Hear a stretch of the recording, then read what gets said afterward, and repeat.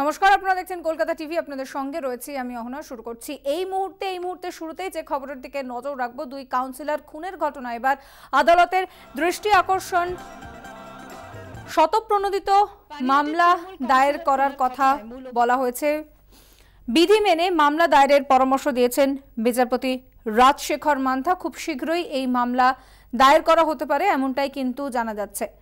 আমরা জানি, পানিহাটিতে এবং ঝালদায় সেখানে দুই কাউন্সিলরকে গুলি করে খুন করা হয়েছে। সেই ঘটনায় এবার আদালতের দৃষ্টি আকর্ষণ আইনজীবীর। শতপ্রণোদিত মামলা দায়েরের আর্জি জানানো হয়েছে দুই কাউন্সিলর খুনের ঘটনায়। আদালতের দৃষ্টি আকর্ষণ শতপ্রণোদিত মামলা দায়েরের আর্জি, বিধি মেনে মামলা করার পরামর্শ দিয়েছেন বিচারপতি রাজশেখর মান্থা। খুব শীঘ্রই এই ঘটনায় মামলা দায়ের করা হবে, এমনটাই কিন্তু জানা যাচ্ছে। আরও একবার আপনাদের জানিয়ে রাখব, দুই আদালত, দুই ঘটনায়, এই দুই ঘটনায় আদালতের দৃষ্টি আকর্ষণ শতপ্রণোদিত মামলা দায়েরের কথা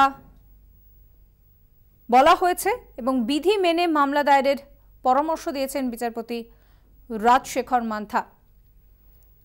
আরও একবার আপনাদের জানিয়ে রাখব দুই কাউন্সিলর খুনের ঘটনায় রীতিমতো চাঞ্চল্য ছড়িয়েছে রাজ্য রাজনীতিতে এবার সেই কাউন্সিলর খুনের ঘটনায়। আদালতের দৃষ্টি আকর্ষণ শতপ্রণোদিত মামলা দায়েরের কথা বলা হয়েছে। বিধি মেনে মামলা করার পরামর্শ দিয়েছেন বিচারপতি রাজশেখর মান্থা। আরও একবার আপনাদের জানিয়ে রাখব, আদালতের দৃষ্টি আকর্ষণ আইনজীবীর। দুই কাউন্সিলর খুনের ঘটনায় আদালতের দৃষ্টি আকর্ষণ। শতপ্রণোদিত মামলা দায়ের বিধি মেনে মামলা করার পরামর্শ বিচারপতি রাজশেখর মান্থার।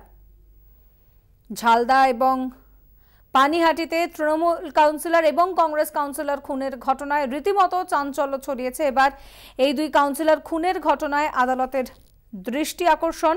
শতপ্রণোদিত মামলা দায়েরের কথা জানান আইনজীবী। বিধি মেনে মামলা করার পরামর্শ বিচারপতি রাজশেখর মান্থার। দুই কাউন্সিলর খুনের ঘটনায়। এবার আদালতের দৃষ্টি আকর্ষণ শতপ্রণোদিত মামলা করার আরজি আইনজীবীর। আমরা কথা বলব আমাদের সঙ্গে এই মুহূর্তে ফোন লাইনে রয়েছেন আমাদের প্রতিনিধি পীযুষ কান্তি নাগ। পীযুষ, বিস্তারিত জানতে চাইব।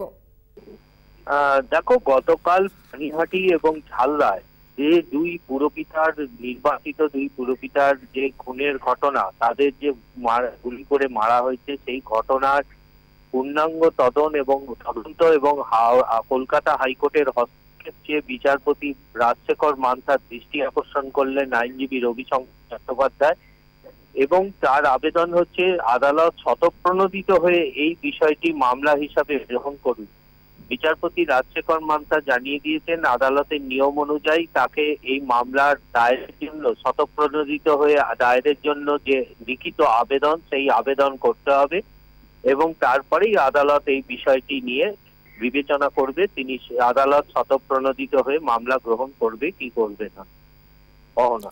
একেবারে ধন্যবাদ, পীযুষ। আমরা কথা বলছিলাম আমাদের প্রতিনিধি পীযুষ কান্তি নাগের সঙ্গে। আরও একবার আপনাদের জানিয়ে রাখব, দুই কাউন্সিলর খুনের ঘটনা। এবার আদালতের দৃষ্টি আকর্ষণের চেষ্টা। এবং পাশাপাশি যে বিষয়টা জানা যাচ্ছে যে বিচারপতি রাজশেখর মান্থা, তিনি জানিয়েছেন যে বিধি মেনে মামলা দায়ের করা যেতে পারে। আজ রাজশেখর মান্থার দৃষ্টি আকর্ষণ করা হয় এবং এই ক্ষেত্রে মামলা দায়েরের কথা বলা হয়েছে। শতপ্রণোদিত মামলা দায়েরের কথা বলা হয়েছে। বিচারপতি রাজশেখর মান্থা, তিনি জানিয়েছেন যে অবশ্যই মামলা করা যেতে পারে, তবে বিধি মেনে মামলা দায়ের করতে হবে, এমনটাই কিন্তু জানিয়েছেন বিচারপতি রাজশেখর মান্থা।